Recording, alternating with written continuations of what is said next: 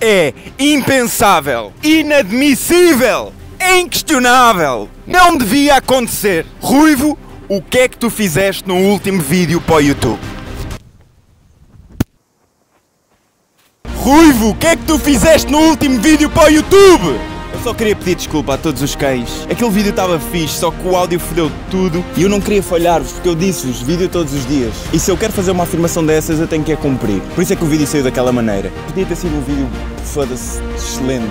Mas a merda do Mike fodeu-nos. Portanto, olha, desde aí, se vocês quiserem dar-me um kit de microfones, os novos, que eu já vi que esses novos têm tipo um alcance de 250 metros, ok? Se quiserem dar-me uns, contactem-me, ok? Está aqui o e-mail.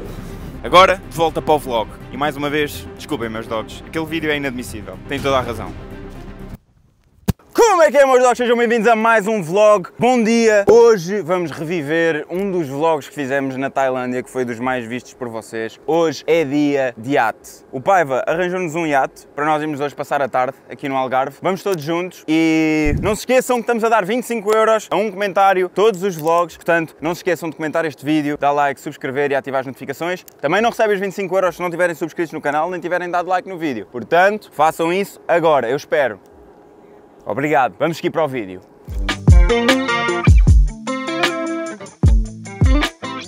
Meus dogs, fizemos um drift.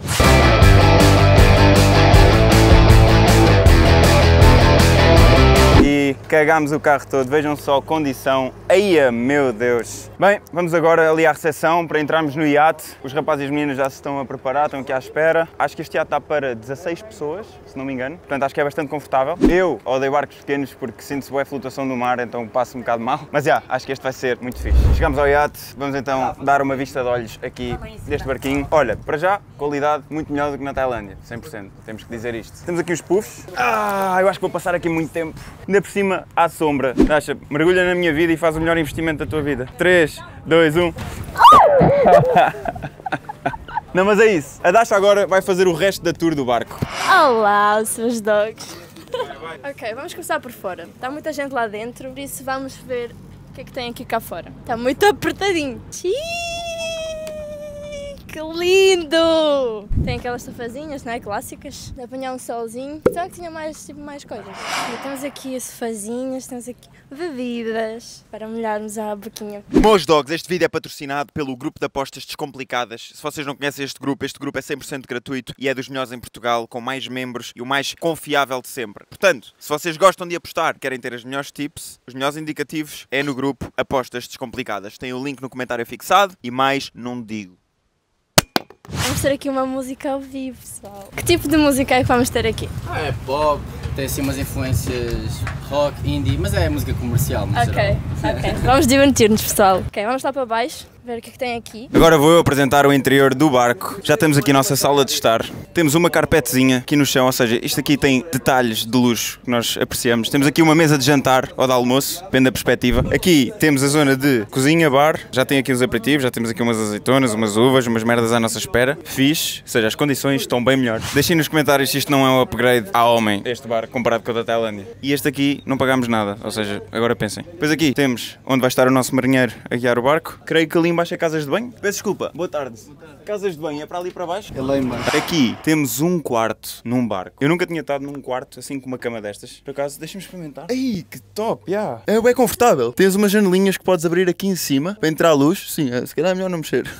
Já, temos umas persianas também. A TV é o melhor do quarto. Essa TV é mesmo pequena. Vejam só, tipo, o tamanho da TV para a minha cabeça. Eu tenho uma cabeça grande, mas é mesmo minúscula. A TV não está a bater. Casa de banho com chuveiro, sanita. Meus dogs. Aqui.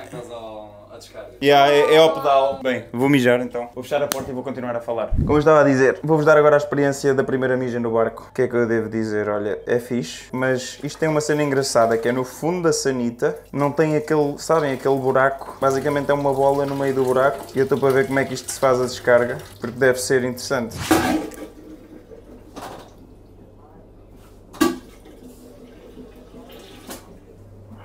Temos aqui o segundo quarto do barco. Ui, este é o melhor. Mano, tens sofá no quarto? Tens uma mesa de trabalho aqui. Isto é incrível. Está experimentado. What the fuck? Nem sabia que estavas aí dentro. Aquela casa de banho é bem fixe. Olha só o chuveiro desta casa de banho. Aí é bem, isto é mesmo fixe já. Tem bué de espaço para Eu morava aqui. Yes, dá para morar na boa, foda-se. Há gente que mora em uns em Lisboa bem piores do que isto. Bem, o tour está feito e agora está na hora da paparoca, se calhar. Já estou assim a precisar de uma bebidazinha e de comer qualquer coisa. Portanto, fiquem com o b-roll do barco, da vista, vamos começar a arrancar e é isso.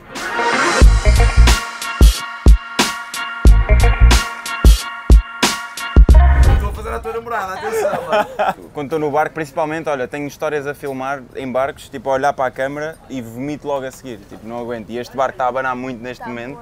Isto, esta merda vai virar. Oh, bro, ou então é simplesmente para te deitares aqui e embalares bem como os bebês, não? Mas dogs, uma das pessoas que faz parte aqui da banda perdeu o chapéu, deixou o chapéu cair na água e eu acho que ele agora foi ao resgate do seu chapéu. O gajo conseguiu. Conseguiu o chapéu? Conseguiu, conseguiu. Como é que ele conseguiu o chapéu? Mas não foi para a água? Não, não, ficou tipo na borderline. Tipo, estás a ver, tipo, imagina, tens uma ceninha que é mesmo antes da água. Ou seja, ficou no barco. Yeah, ficou mesmo no limite. Grande sorte, ao menos isso. Pensava que já íamos ver o homem a saltar para a água, toda a comer. Se estiverem num barco, pessoal, cuidado com os vossos chapéus. Por cima num dia como estes, vejam só o vento, olhem só para isto, estava na bué, mesmo muito. O Aquaman, que não é Aquaman, que não chegou a ir para a água, conseguiu safar o seu próprio chapéu, mas antes de mais, diz-me o teu nome. Jonathan. Mano, ele tinha voado aqui, mas ficou no edge. E estás a ver, não tem escadas, tive que saltar aquela merda, mas deu certo. E aqui, ainda bem, mano, ainda bem. E tu como é que te chamas, mano? Pedro Ferro. Mas espera aí, vocês fazem só música ou trabalham mesmo nesta cena dos barcos? Nós não trabalhamos no barco, nós somos músicos, temos as nossas carreiras individuais. Por acaso somos muito amigos e já fizemos talvez centenas de concertos juntos. Centenas de concertos? Ya, ya, conhecemos na televisão, na verdade, em 2019, ya, num programa que é o Banda. Dá num dos quatro canais ou não? Não, não, era na RTP, é na RTP 1, exato. Ah, ok, estão lá num dos quatro canais, certo, certo. Vocês tocam que tipo de música? Muito pop em inglês, a nossa música é em inglês, e depois fazemos bastante tipo pop punk, até algumas coisas meio rock, e eu faço também bastante country e o Pedro também. Country, mano, eu sou mega fã de country. Bro, bro, Morgan Wallen. Mano, caralho, claro! E o Post Malone está Ah, mano, Post Malone agora, ele fez também uma colaboração com o Morgan Wallen. E o caralho, todos estes. Mano, amo, amo. Passei uma temporada no, no Canadá, um verão inteiro e amei. Vamos ter que cantar aquela música do Chris Staple, Baby You're Smooth, Tennessee Whiskey. É Tennessee Whiskey. E vocês, peraí, vocês também cantam ou só tocam? Não, não, cantar e tocar. Ei, eu estou mesmo ansioso para ver isso. Rapazes, estou mesmo ansioso. Até já. Vamos ver isso. Eu estava aí a falar com o Jonathan, também curti um de country. Virei para a Dasha e disse assim: Dasha, tu também gostas de country, né? E ela: Isso pergunta-se. Rapazes, isto é das maiores green flags. Menina de country, menina de ouro. Lembrem-se disso. Eu estou todo fodido, meus dogs, todo fodido. Mano, nunca tive num bar que abanasse tanto. Olha para esta merda. Jesus, mano, Jesus. Olha para isto, mas. Bem, para vos explicar, ainda não consegui filmar nada de jeito. Nem a comida que tivemos a comer que estava bem da boa, todo enjoado. Eu, o Patrick, o Simeone, a Carlota, tivemos que já tomar um comprimido para o enjoo, porque estamos a passar mal com este pronto com o mar. Entretanto, vim-me deitar aqui para ver se melhorava um bocadinho, mas já, estou mesmo todo mal disposto. Tirem-me deste barco.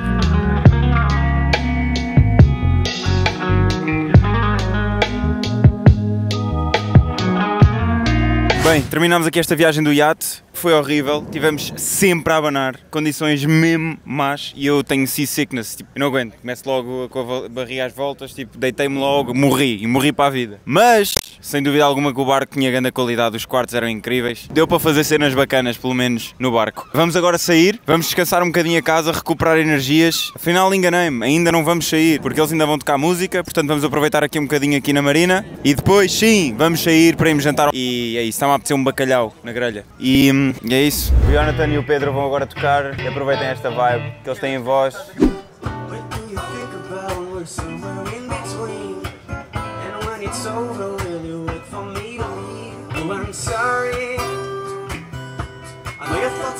Party. When I say the words, I'm into you, I'm into you. You do hurt and make love, cause I've been all alone.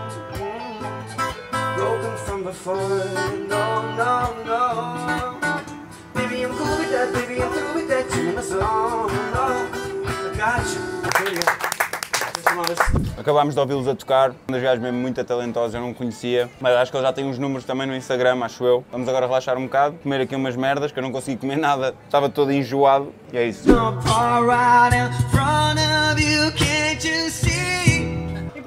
God damn, Jonathan on the phone. Oh yes, the girls are crazy at the moment. Take your fucking bros. E o Rui chegou. Uh! Só sinto saudades tuas quando eu adormeço. Eu já vazei tanta garrafa e mesmo assim eu não me esqueço. Eu sei que eu vi em ti uma explosão de sentimentos. Talvez fosse contigo o fim do conto e nem sabemos. Corpo paralisado, mas tenho a mente do avesso. A pensar nas tuas frases e a lembrar-me dos momentos. Das noites calorosas aos dias mais cinzentos. Eu tenho areia numa suete só das noites que eu nem me lembro. Mas eu estou sem direção. Em que é que eu errava? Deito abrigo, mas fiquei com a alma congelada. Isto é só mais uma música, mais uma noitada em que emoções e as bebidas estão num copo misturado. Cause I never thought I'd have to say this. No, I don't love you, and I never did. Look at us now for kicks, but just know. No, no, no. So tell me if you love. So tell me if you love. So tell me now if you think that I'm the one. eh, Just know.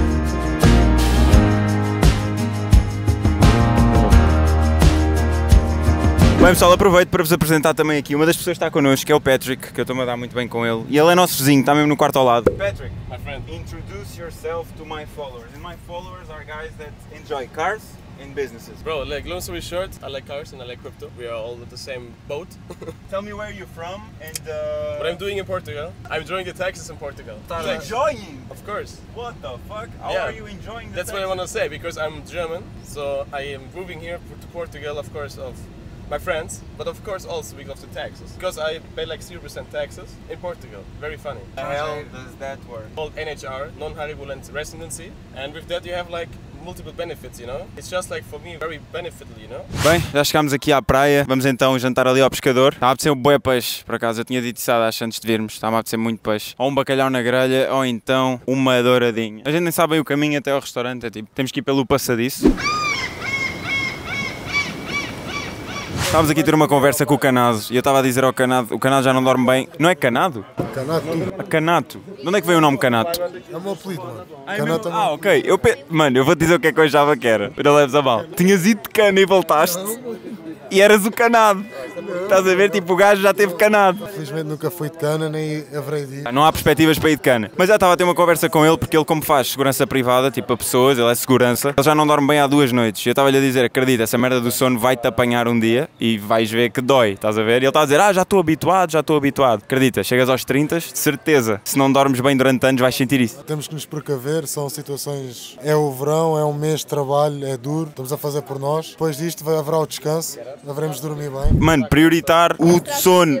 Isto traz ansiedade, traz tipo outras merdas, é fedido. É fedido. Dormir, muito importante, muito importante. Dormir. Não é isso, mas estou a co- constatar factos, não estou a dar piadas. Se eu subisse a um palco, ó pai, fora brincadeiras, eu conseguia fazer dinheiro com esta merda. Metê-lo antes de qualquer comediante num palco. Estás a perceber? Que é para baixar o standard. De repente a gente se partia mesmo com o comediante mais fraco do mundo.